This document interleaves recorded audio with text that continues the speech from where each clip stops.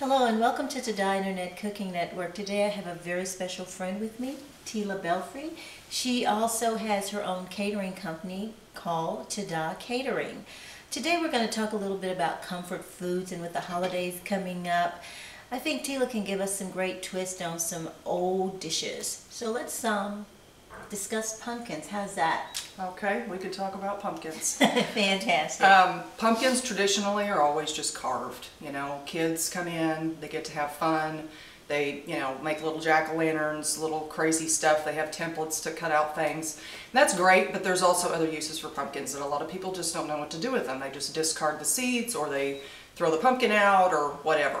Well, there's great uses for pumpkins in many different ways. One of the fun ways to do it with kids is you separate the pulp from the seeds on the inside, lay the seeds out on a baking sheet, sprinkle some salt, preheat the oven 350, put it in for about 10 minutes, and then you've got some great snacks. You can have alterations to that if you want to have sweet ones, put some sugar, let the sugar caramelize. You could drizzle it with chocolate if you wanted to do that, have chocolate pumpkin seeds. There's a number of things that you could do with them. And the pumpkin itself can be transformed into soups, which are great during the winter months.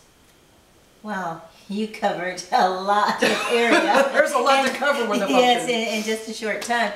You know, I was thinking about maybe a pumpkin mousse, um, pumpkin bread, or even a take on a pumpkin pie, and then you can use the seeds to sprinkle over mm -hmm. the mm-hmm. top, or even a pumpkin brittle. You know, mm -hmm. let, us try yeah. some of these things out.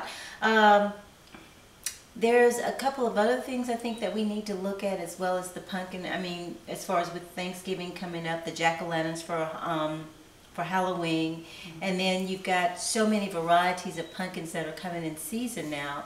And it's just so much that you can do with a pumpkin. Also, I'm looking at probably a nice chicken and dumpling dish. Oh, okay. Uh, yes, yes, yes.